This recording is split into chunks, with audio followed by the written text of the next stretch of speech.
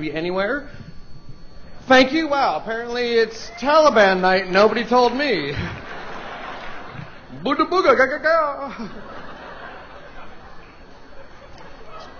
It's going to be a long show for one of us.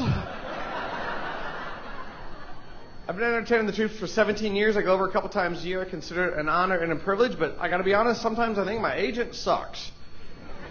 Las Vegas, Royal Caribbean, Afghanistan. One of these things is not like the other.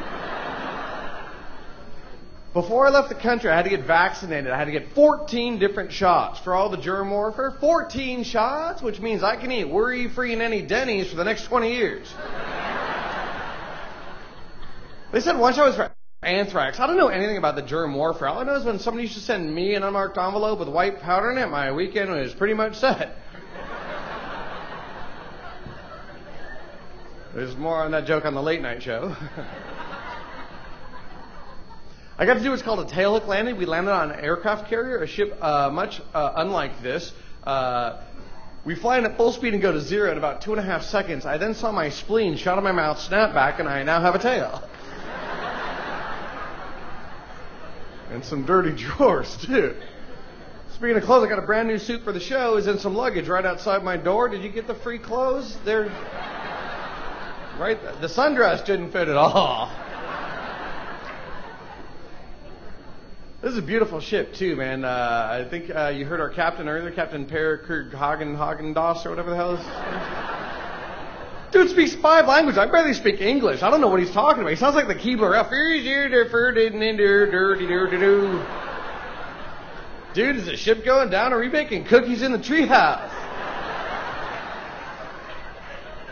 I was teasing with the accent. If it doesn't work out as captain, he could always run for the governor of California.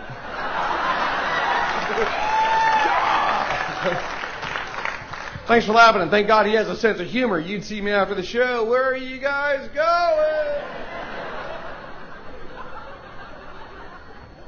I did grow up in Los Angeles. Uh, I got fed up with the fake people and the broken dreams, so I moved to Las Vegas.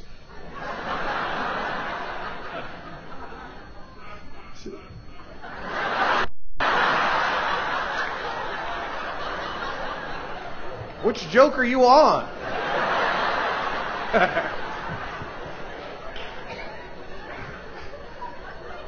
I can already tell it's going to be an awesome week, man. Because either you guys are yeah or uh, ah, which way did he go? I hope on the ship you go around and meet people. Stick your hand out or stick your elbow out. Make some friends. Talk to people. We have people from all around the planet. I love that. Celebrate your heritage and your culture. Me, I'm American trailer trash. And yeah, TT in the house. What's up? That's a double wide. That's a double wide. Oh yeah, I know I got a couple of my people. Double wide, Hercules, Hercules. Double wide, that means he's got a dryer inside the house. We were poor growing up. I just saw my mom, who turned 65 last month. I think that's great because the last couple of years she's been using a fake ID to get the senior citizens discount everywhere. We go to the movie, she forgets her wallet. It's like, I forgot my ID. Tell my your grandma, give me the discount. Come on. Hook me up. No way, playa. When I was a little boy, you never buy me beer. Two, and the lady is underage. Course, my mom's trying to fake it. No, I'm not. Cool, you laugh first, all right? You can make a joke about your mom. That is legal. You just cannot not talk back to your mom because your moms give birth and there's not a card in the deck of life you can draw in the, against the birth card. Right? You could challenge, you could bluff or go fish, but the guilt card will always flip, and that is a full house of pain, my brother. Right? You best respect your mom, okay? So my mom calls me up for a ride, and I had a touch of that hangover that was going around. Cool, stay with me because this is where I get Scooby head from most crowds. Like, I sass my mom. And I get that mom speech, whatever your native language is, it is the same translation. Don't talk to me like that. I'm your mother. I brought you into this world and. Wow. I didn't realize we're all related. My whole life, I brought you into this world and I could take you out. Well, I'm tired of her talking her trash. So I'm like, step up. and she did. She took me two out of three falls, too. I stepped on her oxygen tube and slowed her up a little bit. Again, some of you are laughing and some of you are looking at me like I'm last picking gym class right now. A couple moms rolling their sleeves. Well, if your mother's not here to represent, I believe I packed a can of whoop. I'm not a fighter at all, all right? I had four older sisters. We were poor. I got a lot of hand-me-down dresses, and oh, ha ha! Now you laugh. I was getting my butt whooped at school. Stop it! You dirtied my culottes. I got to change into my fighting skirts, and I'm coming right back. My, I wish I wasn't making that joke up. My sisters made me dance with them, so for guy, I'm a pretty good dancer. I'm not great like the professionals you're going to see in these awesome production numbers, but I can dance. In high school, I didn't know any better, so I took a dance class, but I was the only boy in the class. And the guys on the football team would tease me like, dude, what are you, queer taking dance? I'm like, dude, lighten up. There are 40 girls in spandex and me, or 300 sweaty guys on the football team with their hands in each other's crotch. Who's in the closet now, Bubba?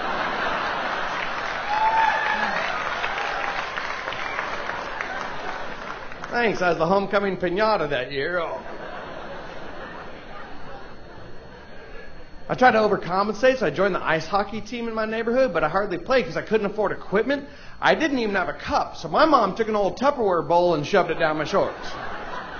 Oh, you laugh. It worked. I got hit there once and it burped. Nobody ever stole my lunch again.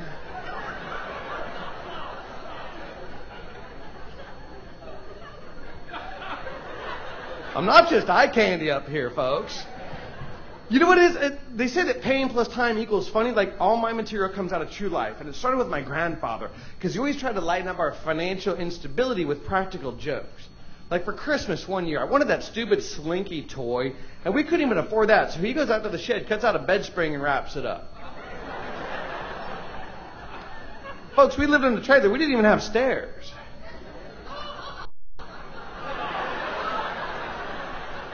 Thank you. For the rest of you, Christmas morning, I'm on the curb, slink, slink.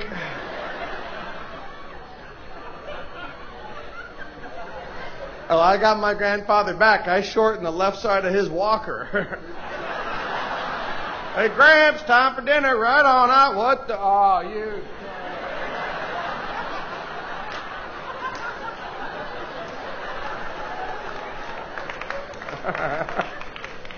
And they said I'd never use geometry. I only got a few minutes with you guys. Uh, I'll be doing a late night show in a couple nights. Totally different show. Uh, it's the cable version of my act. It's adult.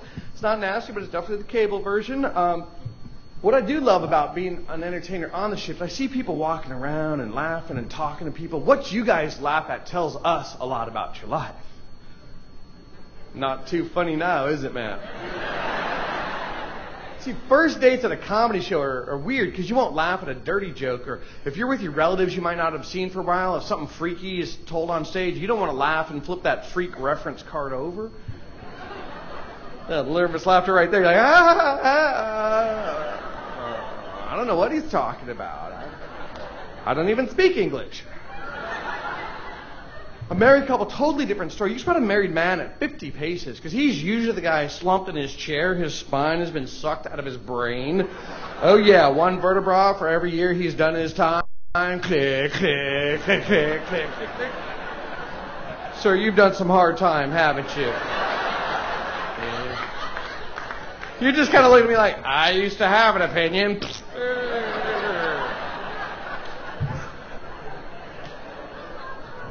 I'm not here to pick on you. What is your name, sir? Your name is Charlie. You had to think about that for a moment. Nice to meet you, Charlie. How long have you been married? Is this Mrs. Charlie? It is. How long have you been married, Charlie? Your new date. Hey, sweet. Tiger? Folks, you got to work with me on a couple of these. You're going to get married soon. Well, thank you for putting an abrupt halt to the show, Charlie. it's my fault. I picked him. Congratulations. You guys are so cute together because you're like, I'm going to get him. Uh, Mrs. Charlie, how long have you been married? 38 years? Uh, God bless you. I, I understand why he has no idea what he's talking about at this point. 38 years, I can't even imagine what that's got to be like. You're still here. See, I don't don't misunderstand. I think being in love is awesome, but the whole spinal disintegration process of a man begins when a woman says, "I love you." We don't get it. It's like catching a deer in the headlights. A woman goes, "I love you." I love you. uh, click. Uh,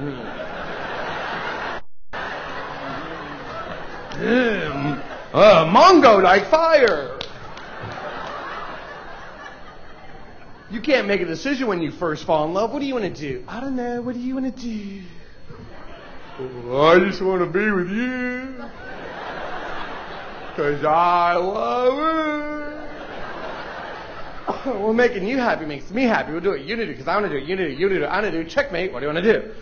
Unless you've been married for a while, what do you want to do? Could you leave? Oh, look who's laughing a little harder now. Got my eye on you. I'll be honest, I was married once before. That didn't work out. I realized we were having a few problems when my wife started dating again. well, you laugh like you know her. We had a mixed relationship. I'm a Christian, and she was the Antichrist. And I'm trying to cuddle. She's eating a live goat. Red rum, red rum. I should have known when she didn't show up in any of the wedding photos. Every picture, I look like a bad mime.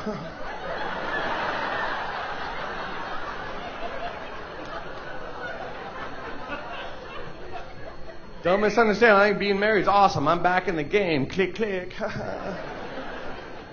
I think a man gets married to show his love to a woman. It's not our day. It's what we do to show you how much we love you. I mean, we don't grow up as young boys flipping through Modern Groom magazine collections. Oh, someday I'm going to get a rental tux and it'll be the best day of my life. I hope we get a register at Bed Bath and Beyond. No, forget the truck and the TV. We need new linen, something with a high thread count, because anything under 300 Egyptian cotton makes my boom boom go a chafe chafe. It's a woman's day. A woman to buy a dress. You keep the dress. You give your dress to your daughter or son, depending on where you live.